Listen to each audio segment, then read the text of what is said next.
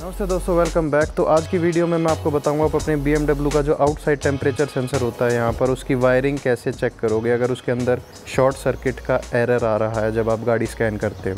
तो चलो वीडियो को शुरू करते हैं। तो अगर आप मेरे चैनल को यूजुअली देखते हो, मेरे व्यूअर हो तो आपको पता है कि मैंने कुछ टाइम पहले यहाँ पर एक एम्बियंट सेंसर होता है, उसको बदला था। बदलने का कारण था कि मेरी गाड़ी के अंदर कई बार जब गाड़ी स्टेशनरी होती, खड़ी होती है तो माइनस फोर्टी प्लस फोर्टी ऐसे फ्लक्चुएट करता है। और मैंने गाड़ी उस टाइम स्कैन करी थी तो कोई एरर नहीं आ रहा था बट उसके बाद अब मैंने दोबारा स्कैन करी है तो उसके अंदर शॉर्ट सर्किट टू पॉजिटिव आ रहा है। इसका मतलब है कि इसकी वायरिंग में शॉर्ट है कहीं पर। तो दोनों वायरिंग अगर आपस में कभी कभी भिड़ रही हैं तो उससे क्या होता है, गाड़ी का अंदर का टेम्परेचर माइनस फोर्टी दिखा देता है। उससे एसी चलना बंद हो जाएगा, क्योंकि आउटसाइड टेम्परेचर सेंसर बहुत चीज़ों को कंट्रोल करता है मतलब बहुत चीज़ों में डाटा लेता है ई इसका। तो इसका टेम्परेचर की रीडिंग सही होनी चाहिए। तो मेरा जहाँ तक गैस है, यहाँ पर चूहे घुसे थे तो उन्होंने, चूहों ने शायद वो वायरिंग को थोड़ा बहुत स्लाइस या काट दिया है। तो आज की वीडियो में हम इस व्हील को निकालेंगे फेंडर लाइनिंग को निकालेंगे, क्योंकि यहाँ पर है बिल्कुल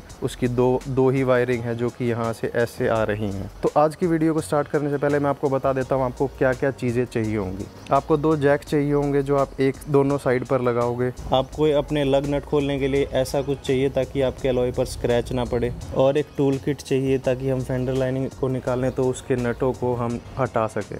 और एक इलेक्ट्रिकल टेप चाहिए और एक हेयर ड्रायर चाहिए ताकि जब ये इलेक्ट्रिकल टेप लगाए तो हम इसको हीट रैप या श्रिंक रैप जो भी कहना चाहते हो वो कर सके, ताकि वो वाटर टाइट सील हो जाए। तो चलो फटाफट मैं इसके व्हील को निकालता हूँ, इसकी फेंडर लाइनिंग को निकालता हूँ और फिर हम वायरिंग पर ध्यान देंगे यहाँ पर।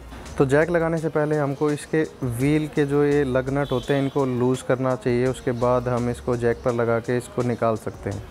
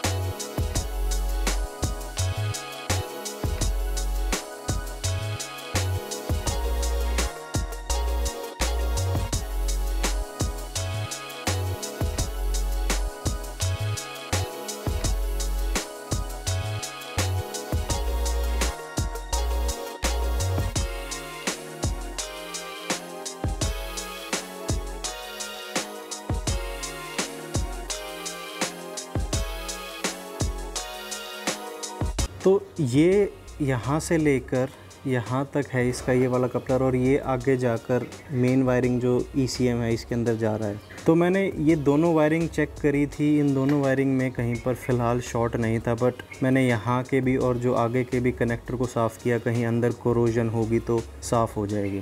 और उसके बाद मैंने सिंगल सिंगल तार को इलेक्ट्रिकल टेप से बांधा है। एंड कम से कम भी एक डेढ़ घंटा मैंने गाड़ी स्टार्ट करके रखी है। टेम्परेचर मेंटेन कर रही है गाड़ी, क्योंकि जो दो ही वायर आ रही थी यहाँ से आगे से और ये वाला जो वायरिंग का लूप है, इन दोनों वायर्स में कहीं पर कट नहीं था, कहीं पर कोई भी दिक्कत नहीं थी, ना ही शॉर्ट थी ये दोनों वायर तो मेरे को लगा कि हो सकता है कोरोजन हो तो इन, इस कनेक्टर का भी और जो आगे वाला यहाँ पर जो कनेक्टर है उसका भी। दोनों के कनेक्टर को साफ़ करने के बाद चला कर देखा है तो अब जो एकदम से गाड़ी अपने आप माइनस चालीस प्लस फिफ्टी ऐसे दिखाती थी वो अब नहीं कर रही। तो आपकी गाड़ी में हो सकता है यहाँ पर कोई अगर आप मेरे जैसा प्रॉब्लम फेस कर रहे हो जहाँ पर कि सेंसर बदलने के बाद भी ये माइनस चालीस प्लस चालीस दिखा रहा है, चाहे कितने भी सेंसर बदलो, और गाड़ी में शॉर्ट सर्किट का एरर आ रहा है, वो भी कभी कभी हमेशा नहीं आएगा वो। तो आप ये वाली दो वायर्स चेक करो, यहाँ तक।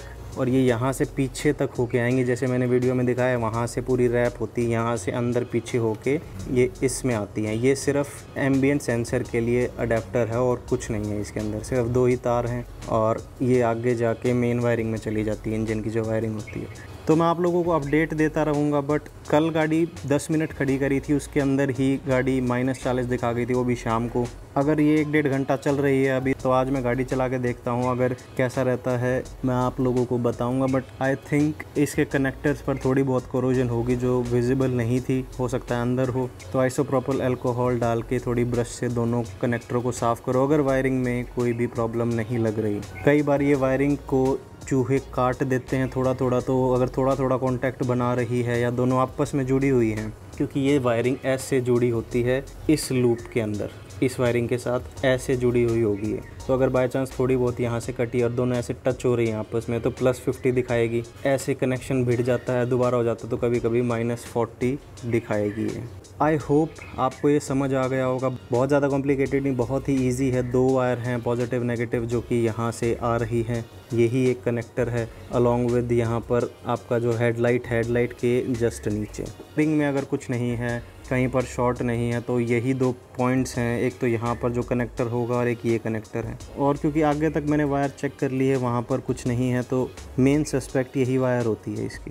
और हर BMW में, चाहे वो ई सिक्स हो, कोई भी गाड़ी हो, कोई भी BMW आपको यही, आपको लूप मिलेगा और यही सेम सेंसर मिलेगा हर गाड़ी में। ये ई सिक्स से सेंसर अभी तक सेम है सब गाड़ियों में। और अगर बीच में, बार में भी कुछ मैं करता हूँ तो उसके ऊपर मैं अपडेट देता रहूँगा आपको। और जैसे मैंने गाड़ी चला कर देखी, बहुत देर में बैठा, अगर आप इंस्टाग्राम पर हो तो आपने मेरी स्टोरीज़ वगैरह देखी होंगी, मैं गाड़ी में कम से कम भी डेढ़ दो घंटे बैठा रहा था और टेम्परेचर मेंटेन कर रही है गाड़ी फ्लक्चुएट नहीं कर रही। तो चलो अब फेंडर लाइनिंग लगाते हैं और व्हील वापस लगाते हैं और इस वायरिंग को मैं टाइडी अप करता हूँ और जो वायरिंग लूज थी, जिसका इंसुलेशन निकाला था वायरिंग लगाकर इंसुलेशन लगाकर इसको प्रॉपरली माउंट करता हूँ।